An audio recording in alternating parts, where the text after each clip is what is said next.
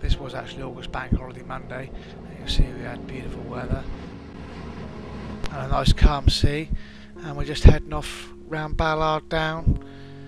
Um, and you can see it's quite a spectacular bit of coastline. And there's Swanage in the distance. And we just go around and then we go past Durlston Head and we're heading off towards Portland Bill, south of Portland Bill, to dive a very large wreck. And this area of coastline is very popular with rock climbers.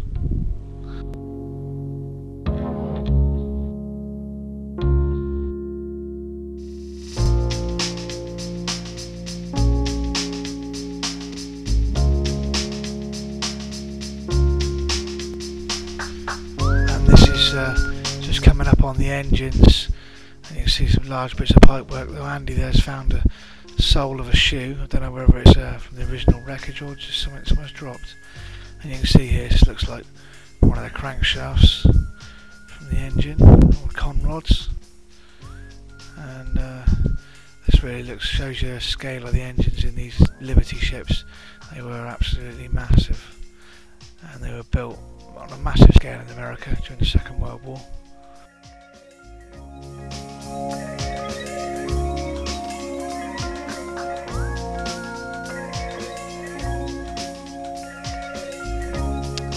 Is Andy pointing out one of the masts. I guess this is towards the stern of the wreck, and uh, it really is a substantial piece of metal.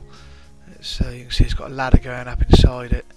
It must be four foot diameter, and you can just see there's like an exit hole where people would have been able to climb up inside and come out, but the mast just goes on and on. Then we swim across some large sections of hull, down across to the seabed.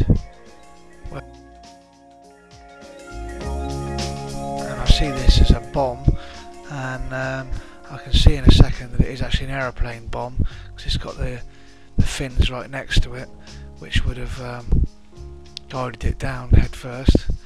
But I think this is one of the cargo. There are several of these lying around the wreck, although I've only put one on the film, and this would have been the cargo of the ship. And then just swim back towards the boilers, which are massive. And it's time to get my bag out and uh, get off on the ascent. And on the ascent, you can see one of the other divers' DK bags almost catches me, and it is actually travelling quite fast, although it looks slow because of my head full in the bag. But if it had have caught me, it was sure to have carried me to the surface.